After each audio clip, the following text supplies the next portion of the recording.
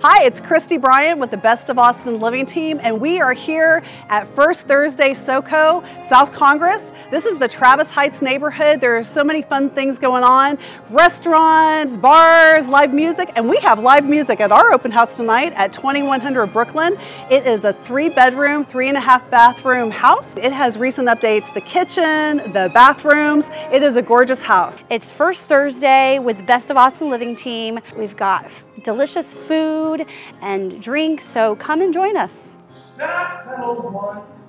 It is not me. Yes, love the house, love the location. We actually live in the area and love walking to C-Boy's on a Friday night to listen to live music. And the park is right around the corner, so you can walk dogs or go on a hike. I love the screened in porch. I think that's my favorite. I just imagine sitting out there with a good iced tea on a summer day. I like the updated kitchen that opens into the living and dining room so you can entertain.